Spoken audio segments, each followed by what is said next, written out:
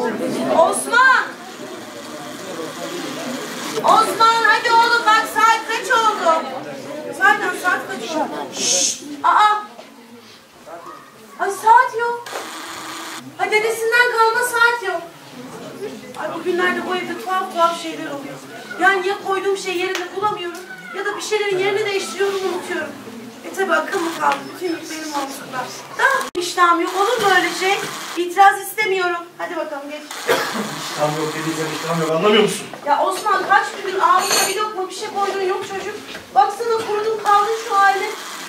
Ya bak oğlum hastaysan falan kendini kötü hissediyorsan söyle doktora götüreyim ben seni. Anne ben hasta değilim. Doktor falan istemiyorum. Tamam.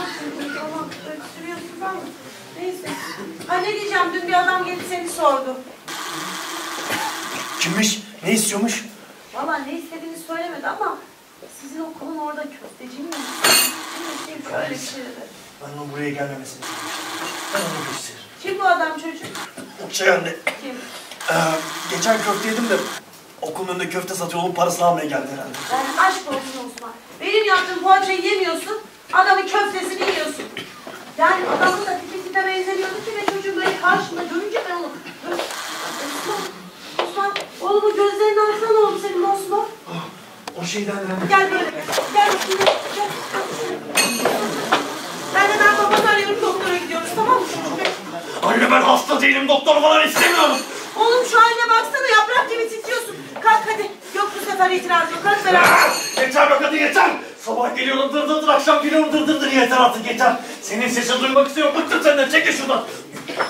Osman! Ay şimdi ben de dedim ki, ya ben senin iyiliğin için söylüyorum be yavrum. Evde de satılacak bir şey kalmadı. Allah. Allah. Beni niye zengin çocuğa dünyaya getirmediler? Benim onlardan neyim eksik?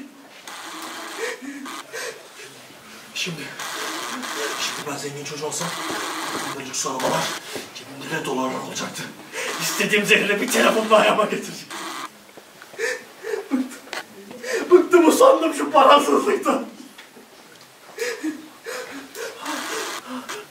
Para ihtiyacım var. Acaba... Acaba sana bir televizyonu mu satsam? Annem bu zehir için hırsızlık yaptım öğrenirse ben bak.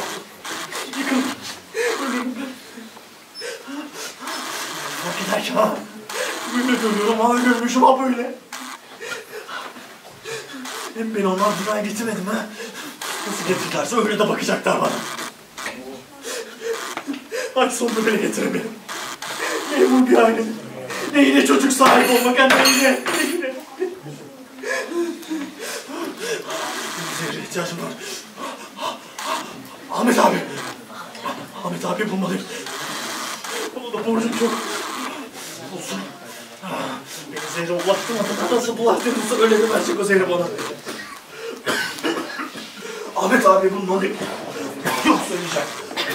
Yok söyleyeceğim.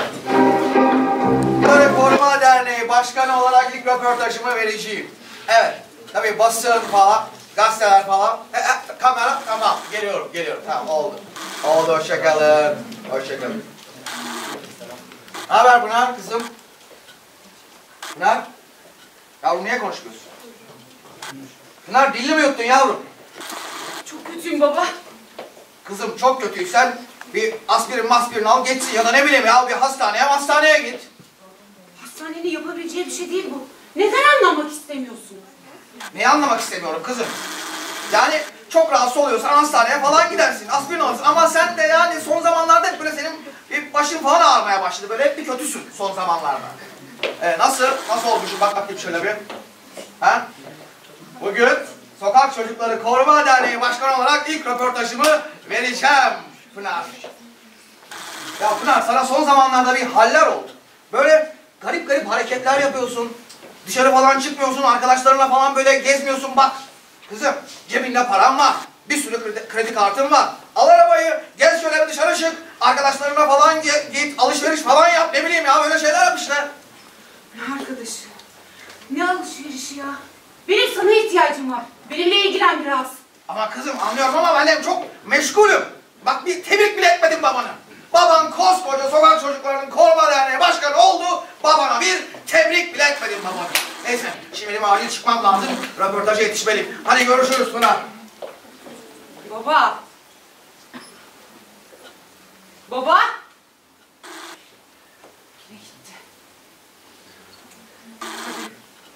Benden daha önemli işleri var.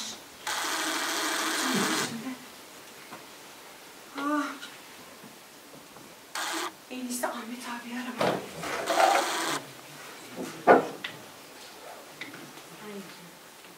Alo. Alo, Ahmet abi orada mı? sen kimsin kardeşim? Benim kim olduğum ne önemi var? Ahmet abi orada mı değil mi onu söylesen. Ben ne bileyim Ahmet abi burada mı değil mi? Buradaysa gelirsin görüşürsün yoksa zaten görüşemezsin. Tamam kapat telefonu. Sen kapat telefonu. Dediğin de anlaşılmıyor zaten. Ahmet abi. Ahmet abi. Ahmet abi!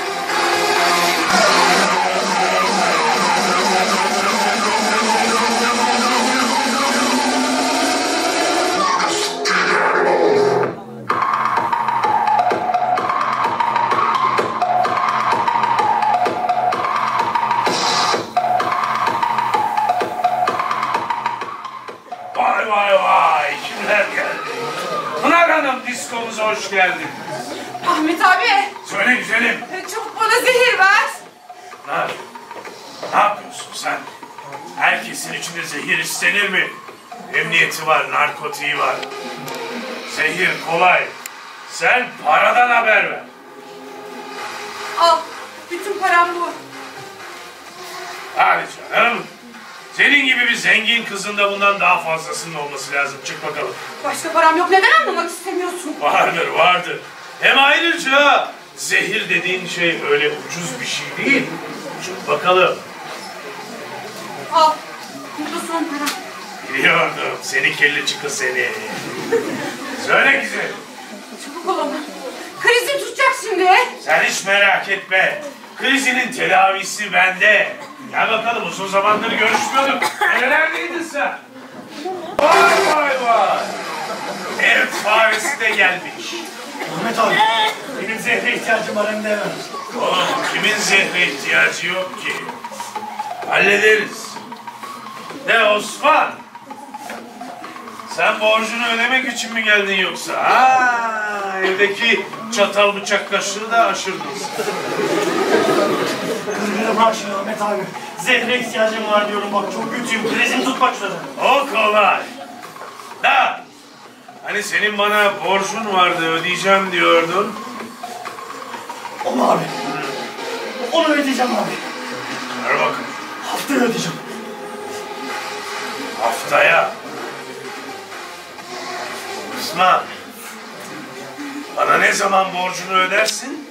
Sana o zaman zehir veririm. Yoksa gramını koklayamazsın. Ahmet abi. Elini ayağını öpeyim yalvarırım bak borcumun hepsini ödeyeceğim diyorum sana. Ne olursun birazcık ya. Osman, Osman.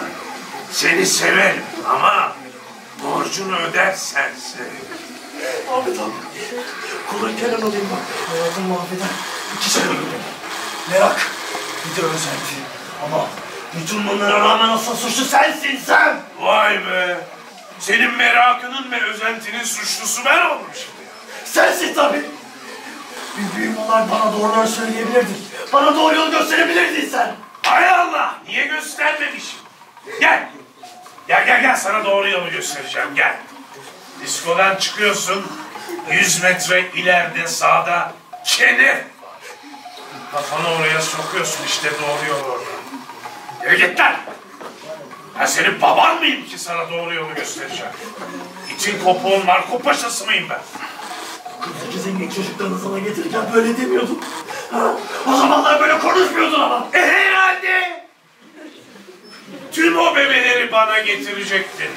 Ben de onları o zehre alıştıracaktım. E o zaman sana eyvallah diyordum tabii. Ama şimdi gördüğüm kadarıyla sana hiç ihtiyacım kalmamış. Artık avucunu yala.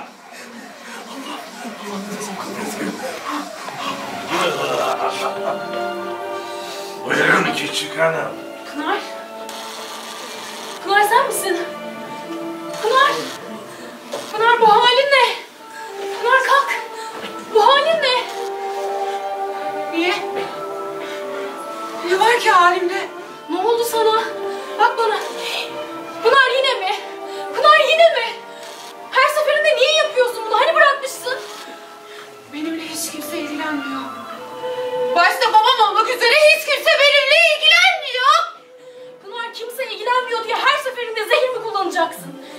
Babanın işleri var. Biraz anlayışla karşılamalısın. Ne yapabilirim ki? Yapma lütfen. Bu kadar iradesiz olduğunu bilmiyordum. Her seferinde şunu kullanmanı gerçekten anlamıyorum. Buna bir çözüm bulmamız lazım. Pınar böyle olmayacak. Tamam. Söz veriyorum sana. Ama bunu babama söylemek yok. Bilmiyorum. Anlaştık mı? Bilmiyorum. Görüyorsunuz sokaklara düşmüş. Kim bilir ne halde yazık çok yazık gerçekten çok yazık. Kestik. Müthişsiniz. Ben ol. hakikaten hiç böyle bir dernek koruma başkanı görmemiştim. Evet.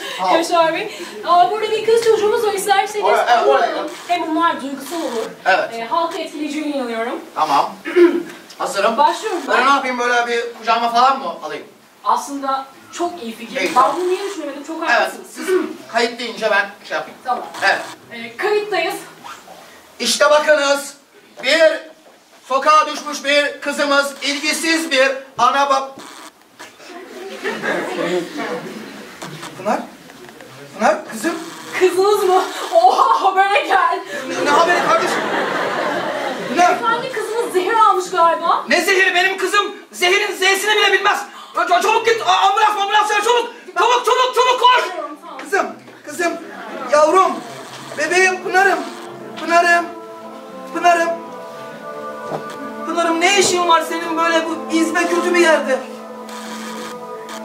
Baba Kızım, yardım et bana. tamam kızım. Şimdi ambulans gelecek, hastaneye götüreceğim kızım seni.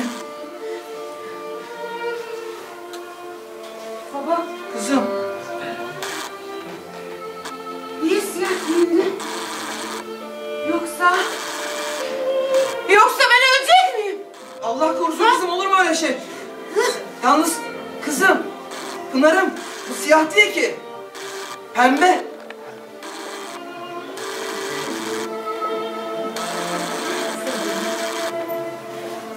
Bana bu zehri verdiklerinde dünyayı toz pembe göreceksin demişlerdi. Oysa ki pembe aslında siyahtır baba. Kızım, kızım, kızım ambulans geliyor. Hastaneye yetiştireceğim kızım seni. Hastaneye yetiştireceğim seni. Pınar, Pınar, Pınar ne oldu sana? Pınar, yavrum, dayan Pınar'ım, Pınar'ım, bebeğim. Hastaneye götüreceğim seni. Pınar,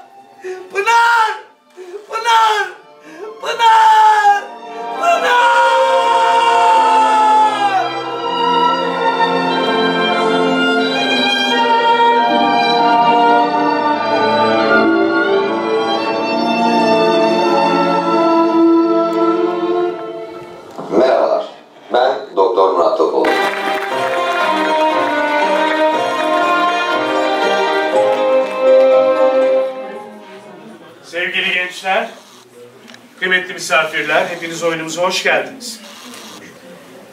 Biz tiyatro balansı olarak uyuşturucuyla mücadeleyi önemsediğimiz ve çok değer verdiğimiz için bu konuya parmak basmak istedik. Malumunuz, eğer bir mesaj vermek istiyorsanız, tiyatro bu mesajı vermek için en etkili araçlardan biri. Ne yazık ki insanlık savaşlarla birbirinin canını alıyor. Terörle keza can. Fakat tüm bunlardan daha sinsi bir tehlike uyuşturucu. Madde bağımlılığı. Biz özellikle dikkat çekmek istedik buna. Oyunumuzda izlediniz. Oyunda eksik olanları bireylerin, ailelerin, gençlerin eksiklerini gördünüz. Bilhassa uyuşturucu konusunda ebeveynlerin eksikliği, sevgi eksikliği.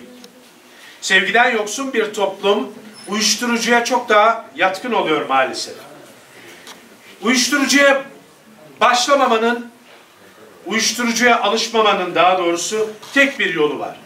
O da hiç başlamamak. Gençler eğer özenirlerse, merak duygusuyla hareket ederlerse uyuşturucuya yakalanma riskine çok fazla maalesef giriyorlar. Dolayısıyla sevgili gençler, eğer çevrenizde benim canlandırdığım gibi tipler olursa lütfen onlardan uzak durun. Yahut size arkadaşınız bir kere dene canım. Bak bu çok keyif verici bir madde. Ben çok keyif alıyorum sen de keyif alırsın derse sakın lütfen sakın onu dinlemeyin. Çünkü uyuşturucuya bir kez başlarsanız devamının gelme ihtimali çok kuvvetli. Tamam tedavi olma ihtimaliniz var. Ama tedaviden sonra yeniden başlama ihtimaliniz de var. Ve eğer tekrarlanırsa bu defa sonu ölüm. Hepinizin hayatı bizim için son derece değerli. Neden? Çünkü siz gençler geleceğimizsiniz. Bizler bu ülkeyi ve kendimizi sizlere emanet ettik. Dolayısıyla hepinizi son derece önemsiyoruz. Bizim kadar, tiyatro balans kadar sizleri önemseyen sevgili belediye başkanımıza da şükranlarınızda teşekkürlerimizi sunuyoruz. Ve burada olmak bizim için son derece keyifliydi. Lütfen sevgimizi paylaşın ve kabul edin. Sağ olun.